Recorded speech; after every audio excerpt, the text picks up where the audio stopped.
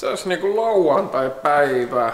Kello on kuusi aamulla. Meille tuli taas eilen iltapäivällä uusi autoja. Mä en ole niitä vielä ihmeemmin käynyt läpi, koska mä lähdin aikaisemmin eilen. Ja tota, käydään nyt läpi nämä kuusi autoa. Aloitetaan ihan alkuun. Täällä tämmönen VR4 Galantti. Ja makealla värityksellä automaattiaskilla tosin on. Mutta näitä ei nyt ihmeemmin jo viime aikoina Suomen päähän tullut. Tuon näköinen laitos on kyseessä. Heti perään sitten Mitsubishi Legnumi ja VR4 automaattiaskilla kans. On kyllä yleisilmältään kyllä aika hyvässä kunnossa. Siinä on kyllä hyvän näköinen peli. Subaru Foresteri tuli sieltä. Talviautoksi, käyttöautoksi kyllä kaikki puoli maukas peli. Sitten tuli Stagea RS Fouri ja on ahdetulla tekniikalla, automaattiaskilla. Sen näköinen konehuone. Nääkin mitä niinku hinnalta on ollut joskus on ollut ihan naurettava versus se mitä ne niinku nyt on. Tykkään tosi paljon korin muodosta. Tosi nätinollainen laitos on niinku koriltaan ja on kyllä hyvässä kunnossa. Ja tota, tota valmistellaan sitten tuohon myyntiriviin. Siitä tuli sitten semmonen pirtsakan värinen Suzuki Swifti Sportti. Tää on manuaalipeli.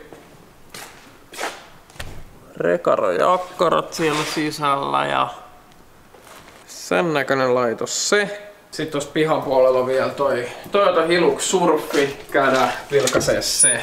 Katsotaan näkeekö tästä pimeässä vielä mitään. Mut siinä on vähän tämmönen isompi laitos. Aika huonosti näkee tästä mitään, mutta tosta nyt koittakaa saada selvää. Rupee olemaan nämä aamut nyt vähän vilposia. Täällä on niinku miinusta. Tuntuu, että Mäntsälässä on niinku plussaa kun lähtee himas ja tänne päin kun valuu, niin täällä on niinku miinusasteet. Tää Toyota Raktis valmistui huoltokierrokselta ja täältä on tänään asiakas tulossa katsomaan ja koajamaan ja katsotaan lähteekö matkaan. Se on kyllä tyylikäs malli tämän koko luokan autoissa.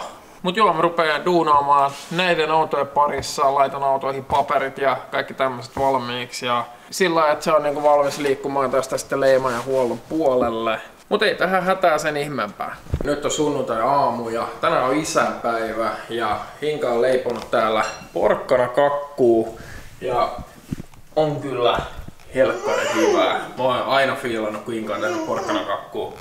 Penkku tykkää. Toinen skidi täällä ihmettelee, ihmettelee vieressä ja tota, maistelee tuttiin siinä samalla. Mikä fiilis? Vedetään kakut ja kahvit naamaa ja sitten mennään tänne pihalle asentelee noita jouluvaloja. Valot tuli laitettu siinä päivällä ja tota, siinä taustalla ne näkyy. Huomenna jatketaan, vedetään tolle puolelle taloa samaa linjaa jotenkin samalla tyylillä. Ää, ei oikein tuonne katorajaa saanut mitenkään, kun on niin helkkari korkea. Ja tuonne autotallipuolelle laitetaan kans sit valoa. Ja sit mä ajattelin, että tossa kun on toi tanko, niin siihen pitää saada joku pukki roikkumaan. Niin tota, löytyyhän se pukki sit kans ja mä kävin hommaamassa semmosen ja mä laitan sen ihan kohta puolit tonne roikkuu. Ja tota, siinähän se isäpäivä sitten meni. Käytiin mun porukoiden luona ja käytiin vähän kaupoilla. Ostettiin tohon skidin huoneeseen maalia. Se sininen väri pitää maalata sieltä pois. Ja tota, katsotaan, jos huomenna saadaan sitten maalattua sitä huonetta, niin saadaan sitä pikkuhiljaa edistettyä sitten valmiiksi, koska me ei ole tällä hetkellä tehty mitään sen suhteen. Tonne olisi ajatus seuraavaksi laittaa se pukki roikkuu. Käydään kattoo. Tässähän se pukki. Pukki eksy tänne tota. Tommonen, eli se tulee tommosilla tikkailla, tikkailla siihen sitten kiipeämään ja Mä käyn hakemaan itse tikkaat ja kiinnitän sen tonne paikalle ja katsotaan sit miltä se näyttää. Siinä on tikkaat ja pukki, pukki messissä ja käydään kiinnittää sitä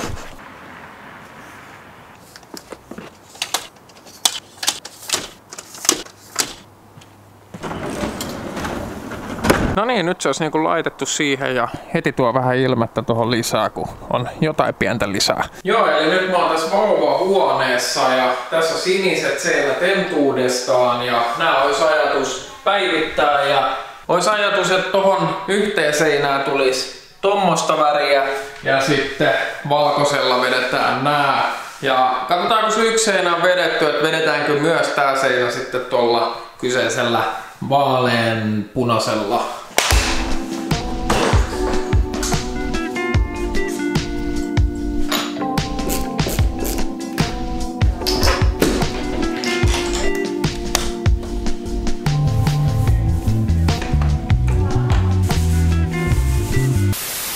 Tuo vauvahuoneprojekti saa hetken aikaa odottaa. Katsotaan, jos me saan sitä huomenna jatkettua. Eli laittaa listoja aika lailla paikalleen. Ja eipä siinä oikeastaan muuta ollut. Noi valokatkaisimet ja pistorasian kannet mä laitoin tuossa aikaisemmin tänään kiinni. Ja vaali on ehtinyt nyt kuivua sen yhden päivän.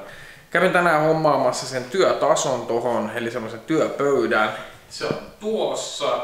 Ja se olisi ajatus asentaa tohon viereen, eli tohon väliin. Tuo on 170 leveä, toi on ovien väli, eli toi nosto-ovi ja tää kyseinen ovi. Ja tää pöytä on 160, eli se mahtuu hyvin siihen. Mä rupean kasailemaan sitä ja katsotaan miten se sitten soveltuu tohon. Ei oikeastaan muuta kuin pöytää kasaa. No niin, eli se taso asettui siihen ja mun mielestä tää nyt on aika käytännöllinen. Pystyy tekemään duunia myös tämmöisen pöytätason päällä. Täällä on sitten tilaa mahdollisesti vaikka säilytykseen. Mä mietin, että jos mulla on vaikka renkaat vanteet irti autosta, niin ne pystyy säilyttää tuolla sille nätisti jemmassa. Ja sitten ää, ruuvipenkki tulee tähän johonkin kiinni ja sitten pystyy ropaamaan. Katsotaan tuleeko jonkin sortin tauluja tohon ja mahdollisesti voi taulun tehdä tänne sivulle kanssa, niin saa joitain työkaluja sitten sinne jemmattuu. Katsotaan miten lähdetään sitä sitten toteuttaa jatkossa. Mutta se on siinä, pikkuhiljaa etenee ja siltä osin se on ainakin tehty. Mutta tältä osin on taas tehty täällä tallin puolella. Täällä jatkellaan taas sitten kun on taas aikaa. Mutta mennään tonne itse skidihuoneeseen, mitä tuossa aikaisemmin tehtiin. Ja katsotaan miltä siellä näyttää. Joo, eli sain täällä tehty hommat valmiiksi ja Äh, ei tullut mitään ihmeempää video otettua. Tossa on tommonen piirtelyn tota, seinä, vaaleanpunasta. Nuo kaksi kyseistä seinää vedettiin sillä. Mut joo, tältä se nyt näyttää ja on kyllä tyytyväinen, että sain nyt yhden huoneen tehty ja katsotaan milloin tosta lähtee heti seuraava huone kippuu. Joka huoneesta olisi aika ajatus vaihtaa noin tapetit ja hakea sitä välimaailmaa vähän oman mukaan.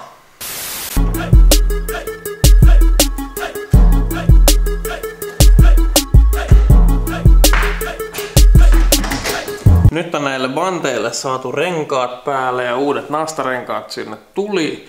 Ja tota, nämä olisi ajatus tässä tulevana viikonloppuna asentaa auton alle sitten ja tota, katsotaan sitten mahdollisesti seuraavalla videolla, että miltä, miltä noin näyttää auton alla. Mutta sen näköiset ne nyt on renkaat päällä. Mut mä lähden nyt tästä valumaan duuniin päin ja tota, minä kiitän kun katsoit videon, tykkää videosta jos tykkäsit ja nähdään taas viikon päästä lauantaina ja se on tältä erää, morjes!